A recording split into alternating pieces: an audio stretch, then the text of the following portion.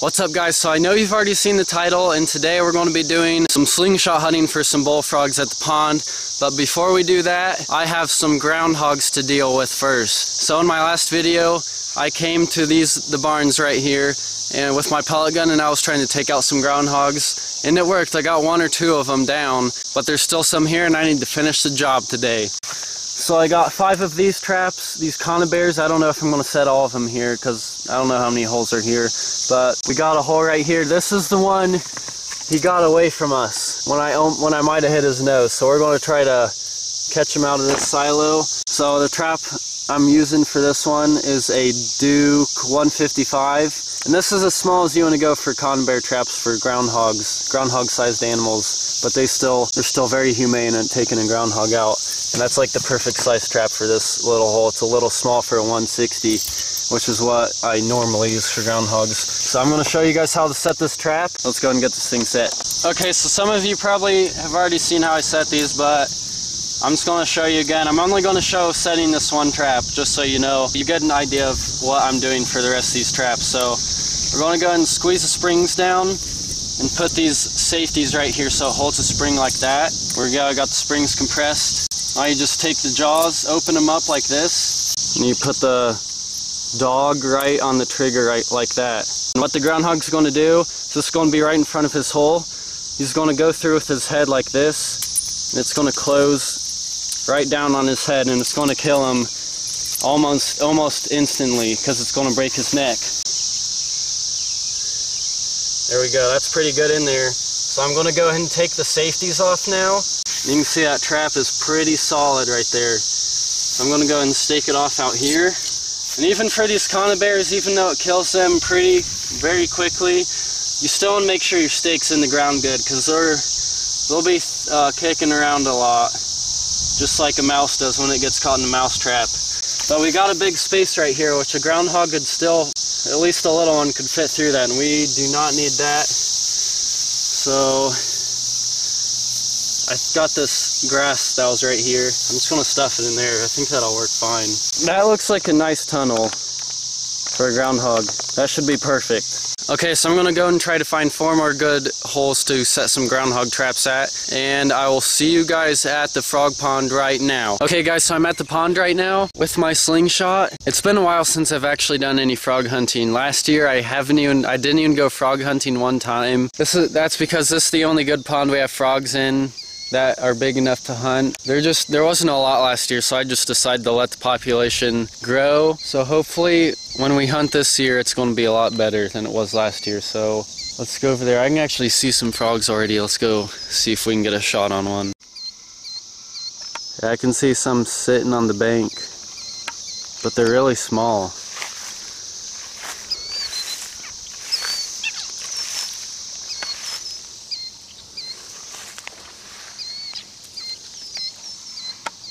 See, there's some right there. They're just too small to shoot. I'm gonna walk around here, see if I can find any big ones though. Got a pretty good sized frog right there. He's definitely big enough to eat, I think. So it's about a 10 yard shot. We'll see if we can take him out with the slingshot. I think I just dropped him right there. No way did I just get that thing. I think I just headshot that thing perfectly. Let's go get him. I think I got him. There's some more right here. That's a little small. We'll leave him. Oh yeah, we did get him. We did get him. Oh my gosh.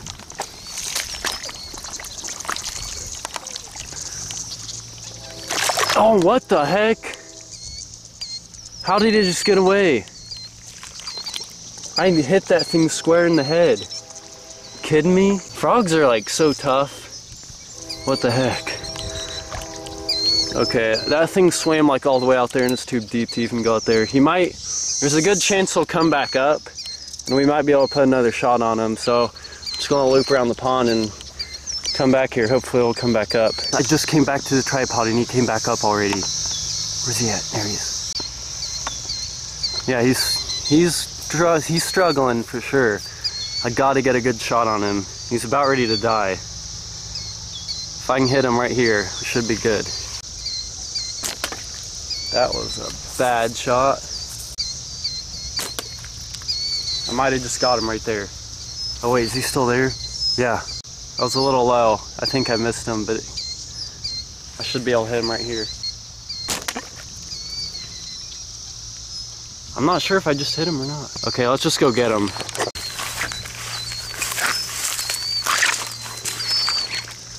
There he is, I see him. He's right here. Got him, yes, first frog with the slingshot.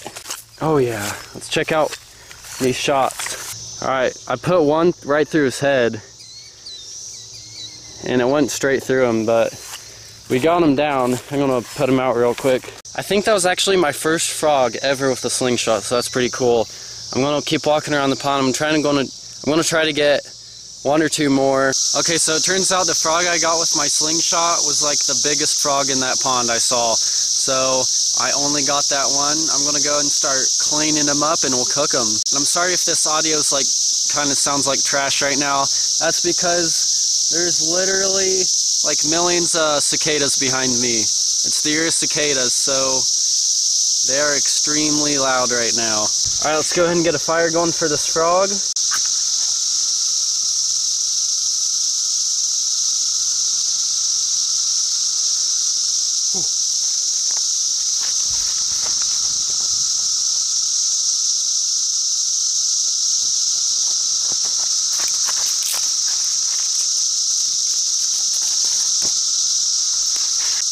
Was thinking. I completely forgot my kindling. Okay, let's try this again. Gotta kind of put it under there, try to block the wind as much as possible.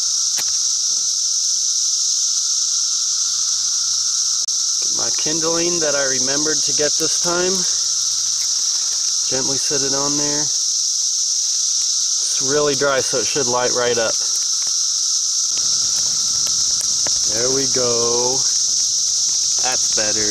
Alright, while we're waiting for the fire over there to die down and get some good coals, I'm going to go ahead and show you guys how I'm going to clean this frog. So what I'm going to do is I'm going to make a cut right here, right on the, just like where the legs connect, I guess. I'm just going to cut that off. Throw that in the woods for the raccoons to eat. Now, just going to grab some of the skin Okay, so I got some of the skin pulled down. Put your thumb in like that. And just, that did not work how it was supposed to. So I'm just going to have to pull it off one at a time like that. And you can see all of that good meat right there on that leg. And I'll get this side, pull it down.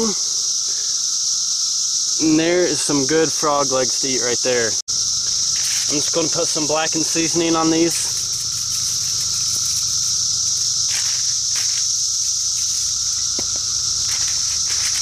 I'm just gonna take them out, cut them apart real quick.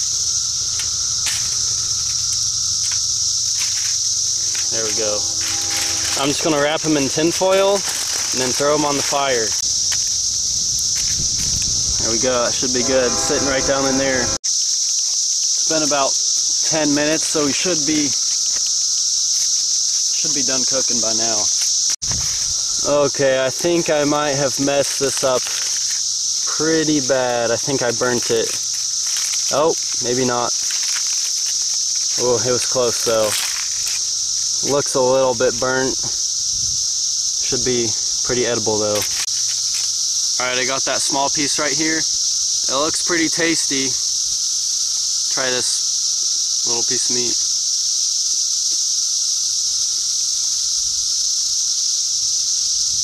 See, it comes right off the bone. That's when you know it's definitely done, when it comes right off the bone like that. But it tastes very burnt. Tastes a little like fish. The texture is a lot chewier though. But really, the most of the flavor I taste is just like, it just tastes burnt. See that white meat? Looks pretty good. That piece wasn't as bad. It was still, it still tastes really burnt, but not as bad as the first one. Here's the other leg right here. There, that side's not as burnt. I can't really taste any of the seasoning on it. I might not, I might not have put enough. I don't know. This big chunk of meat right here, coming off a bum. That last piece was definitely the best one. Didn't taste very burnt at all. Okay, so that's it for the frog hunt and the catch and cook. So, so I'll see you guys tomorrow when we check those groundhog traps. I'm definitely thinking we're going to have at least one, so make sure to stay tuned for the tomorrow check. Okay, so it's actually been like three days since I set those groundhog traps, and we finally got one. So, I had a trap at this hole right here, which is right by that concrete where I shot the one in that in my last video. And we did get one here, but it was still alive when I got here, which never happens. Like, you can see the bar went right across the top of his head. He was still alive, so I had to put a shot through his head when I got here. So I'm gonna go ahead and get this thing out of this trap, get it reset in that hole, because I'm pretty sure there's more groundhogs still living down there. So we'll get them out, and we actually do have another one over in that barn right there, so we'll go check him out too. Okay, so before I go and show you that other groundhog I got, I'm just gonna let you guys know. So that is the trap I showed you how to set. And right over here on the other side of the silo, um, right after I set that trap over there, I set one right there in this hole, which is a 160. And while I was coming, what the heck? Baby cats, okay. Scared me to death. These things better not go in my traps. And while I was setting this conibear over here, which is also 160, I heard a snap go off right there. And I caught a stinking groundhog and I look over and he's caught right on top of the head, just like the last one. And like out of all the years I've been trapping, this has never happened to me before. Like catching a groundhog or that size of animal on top of the head and it not dying. So I don't know what's going on with these traps. I don't know if their springs are just got too weak or the triggers got too sensitive and it's going off early. So this is the first time that's ever happened to me, which is really weird. That's obviously not how I want to catch them. Uh, I don't know what to do about these cats. I, I kind of need to get them out of here. Okay. Come here, kitties. This way. Okay, I'm just gonna leave these cats alone. They're, I picked them up and they're way too light to even set the triggers off, so they'll be, they'll be all right.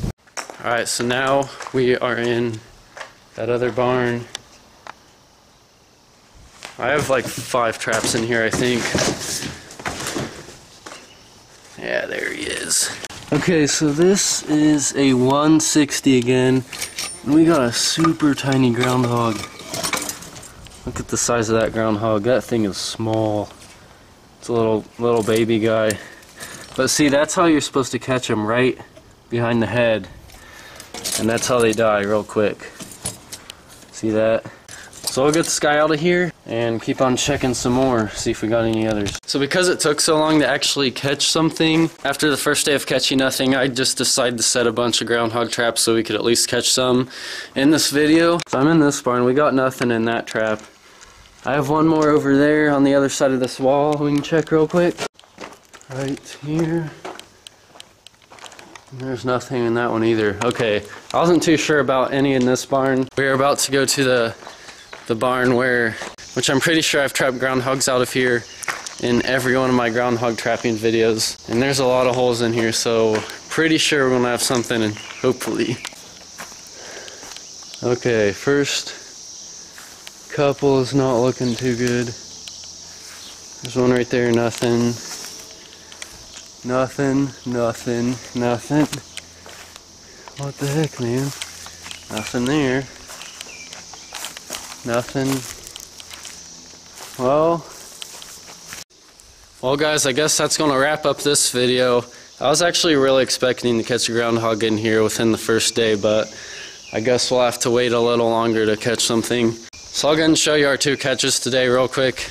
Alright, so here's our two catches we got today. Got this super small little guy, which is probably like half the size of this average groundhog right here. So I'm not going to be eating these guys, I'm just going to chuck them out in the woods for something else to eat like a coyote. Buzzards, they'll love eating these guys. So they will not be going to waste at all. Yeah. So that's going to be it for this one, guys. Let me know if you like the slingshot and groundhog hunting videos because we're definitely going to be getting some more out soon. Especially groundhog ones because you see those blank spots of soybeans right there? Those are actually from groundhogs that come out come out of the woods right there and eat all of that.